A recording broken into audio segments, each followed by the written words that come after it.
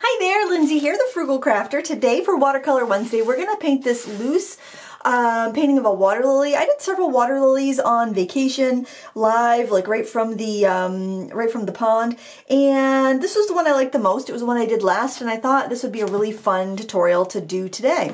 We're going to start with, um, I'm just going to set my sketch in front of me so I can see it, and um, I'm just using my little travel watercolor palette, my portable painter, which had a little accident when we were out. The dog kind of jumped down on it when it was set up, but I used some industrial adhesive to glue the tabs back down. I think it's fine. So that takes a licking and keeps on ticking, as they say. We're going to use a number 12 round, which is what I, I did use that size, but in a travel brush when I was painting on location. And two jars of water, one for cleaning your brush, one for getting fresh water in. And we're going to start off by, uh, we're going to take a little bit of a quinacridone rose color, any sort of pink, and you're going to add quite a bit of water to that. And we're also going to get a little bit of cobalt teal. I just have a little slice of a Daniel Smith cobalt teal watercolor stick there I'm using. And I want to keep this super, super light to begin with. All right, we can always add more color in as we go. So I'm going to start off by the flower here. And actually, why don't we grab also um, a little bit stronger. Let's start with stronger concentrations first, and we can work um, we can work on the lower petals. I think it'll be a little bit easier to do it that way. A little bit stronger pink, and we'll mix that together, to get a more of a purpley color. All right, we're going to start with that. The brush is pretty well loaded. I'm working on a, just a scrap of, um, I think this is a Fabriano Artistico here. And I'm going to start just by putting in some of the darker petals here. Grab some more of the pink. Now, if you like this loose style of painting, I have a watercolor flower workshop that does a lot of the looser style.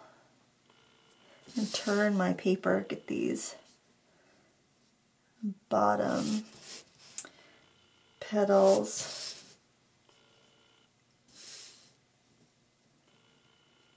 As we work out here, we're going to want a little bit more of the blue. Cobalt teal can be a pretty easy color to, um, to temper. The reason I'm pulling it in like this is so that I can have um, the, the tip of my brush making the point of the petal. Add in a little bit more there. Going to tip that, let those colors run together a little bit. And then I'm going to clean my brush. I'm going to grab some of the pinker color and I'm going to start working up here. My brush is very, very watery. And remember, this the wetter your paint is, the more you're going to have um, shifting from light to dark. And I have a variety of brands in this portable painter. I have some I have some QoR, I have some Daniel Smith, I have some M. Graham. If you have any weird shapes, you can go ahead and refine them a bit. I think I also want to get a little bit of ultramarine blue in there. I love that granulation I get from ultramarine. And cobalt teal is pretty granulating as well. And I'm going to do some of that up here.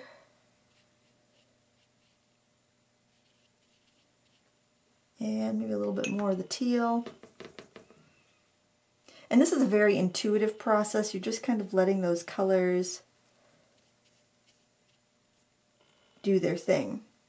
Now I want some yellow in the center and I love it when my colors kind of blend together. So I'm going to grab, I'm going to do some of this gamboge. Water it down a little bit. And I want to leave a little gap between the colors in the front and the colors, the yellow, so that I won't get it to, it won't blend in with the colors in front, but it will blend in a bit with the other ones. I'm going to get a little fresh yellow because I feel like that mixed out a little bit.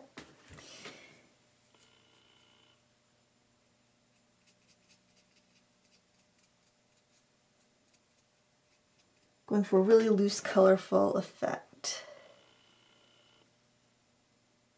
All right, now we gotta let that dry unless you know you want some wet into wet blending with more colors. If I want a little bit more like darker pink in there, what I would do is grab the color from the pan and just like kind of throw it in where I want that little bit of edge. Just be careful not to touch it into an adjacent color if I don't want the blending. If I want a darker purple anywhere, I can take the ultramarine blue in the in the uh, rose and I can get a darker area there. I've got a little too much blending happening there. It's getting a little muddy, so what I'm going to do is just go in there with a dry brush and just kind of soak up some of that.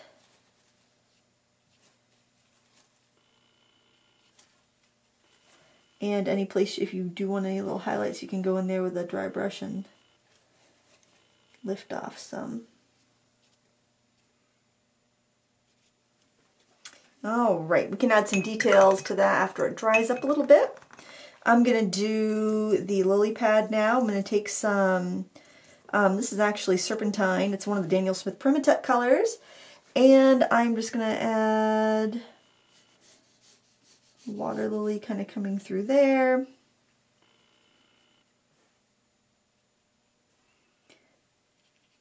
You just want to be careful as you're going next to the lily because it will bleed together if you touch it on a wet, a wet area. I don't mind some of the colors bleeding a bit. This is actually a bit more vibrant than my original painting, which is fine. I like the vibrant color. I notice like, depending on where I'm painting, like the lighting can affect how I apply the color. So painting out in bright sunlight, I might paint differently than painting with my studio lights that are a little bit more um, uh, specifically designed to the way I like to paint. I think I'm gonna, I like that little bit of I like the colors kind of merging in together, so I'm not gonna I'm not gonna try to prevent that too much. I kind of like that. This paper has a pretty good sizing on it, so I don't have to pre-wet anything really. I'm to charge in some darker colors. I'm to go with this uh, Hooker's Green. I'm to add some, add a little ultramarine to it to tone it down a little bit and darken it.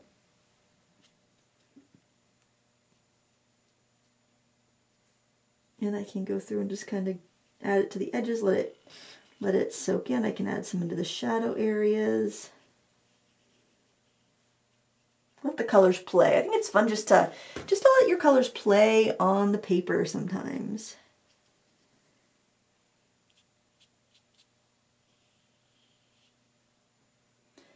I'm wondering if I would see just, probably wouldn't see Maybe I'd see the edge of the lily pad over here. I'm going to put it in there, even though it's kind of like a cartoon lily pad. I feel like it needs that little extra. And I also want to put a little bit of brown.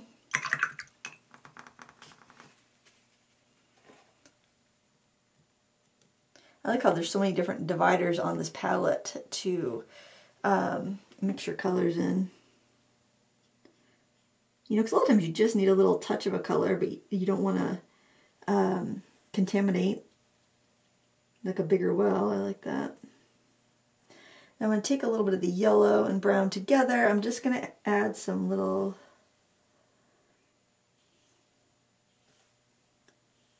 little stems. You have all these like little, these lily pads all have stems down to the bottom of the pond, so you got to put those in. I'm also going to put, mix some like water. I'm going to do some watercolor. I'm going to do the uh, cobalt teal, a little bit ultramarine. And I'm just going to put in some very, very light Actually, maybe even a little bit more water there. I, don't want this to be the um, I don't want it to steal the show. I just want the hint of this being on the water. And my water is going to go over the um, the weeds. It's going to go over the, the stems that are in the water. I hope you guys enjoyed this. Um, I've had some requests for some quicker and easier tutorials. And I think this would be really pretty on, say, like a greeting card something where you know you just want you want to just put a little bit of you want to do a quick little watercolor something bright and uplifting and send to somebody. You don't want to spend an hour on it you just want to do a little little something. I think this would be just the ticket for that. Okay I think this we're probably going to need to dry that a little bit before we do any other accents on the lily pad. I've got my heat tool here so we'll just give it a quick little blast. If you were to go and paint on top of damp paper, what happens is you get that cauliflower look, which can be really pretty actually in some um, in some like loose watercolors, loose, loose, florals. But if you're not expecting it or that's not what you want, then um, then it's a good idea to dry it. Like right there, you can kind of see where the paper dried a little bit and you got that little hard edge. That's kind of like a blossom starting to form. Blossoms don't like to form as much on um, cotton paper as they do on a cellulose paper because the sizing is more even and the absorption is more even of the paper. I also find if I flip my paper like this and I dry the back side, I get a flatter piece of paper. So it keeps it from warping, which is really nice if you're going to mail this out as a, as a greeting card or a postcard um, because it'll stay a little flatter for you. You won't have to press it under books or anything like that. All right, I think that's dry enough. You can see that it's um, that it has just slightly softened in color because the uh, the paper's dry now. Now I'm just going to do some accents here. I'm going to take some ultramarine blue, a little bit of the teal, and I'm going to throw in just some kind of like um, gesture lines.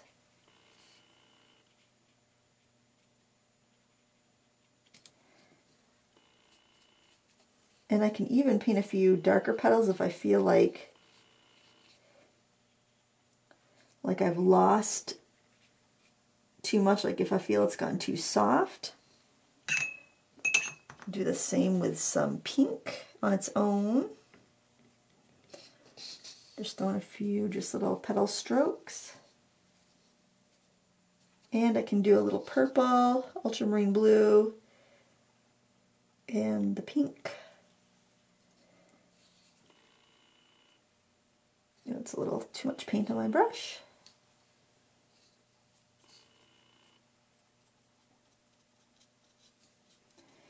And everyone's going to be different. You could paint this a bunch of different times, and each time you do it, you're probably going to make it a little bit different each time because your painting will need little accents in different spots, and your mood will change a little bit. Grab a little bit of green.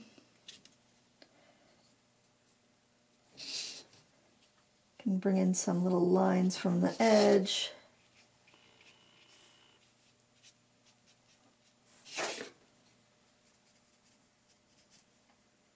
And I can even add a little bit more shadow under the flower if I want to. I would do ultramarine blue. Probably both of the greens, honestly. And that would be kind of like to carve flower out a little bit. I would go ahead and put the, the color on, clean my brush, and then just kind of fade it out a little bit. So it's not super, um, it's not super bright. It's just kind of giving it a very soft separation, still keeping with that loose vibe.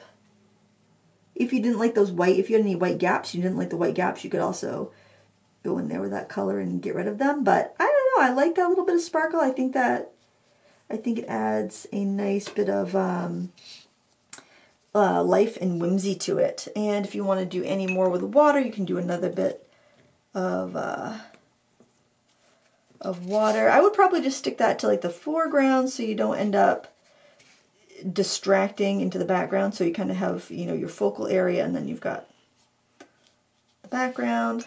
Debating whether I want a little more yellow in this one because I feel like you could use a little bit more yellow. So maybe just kind of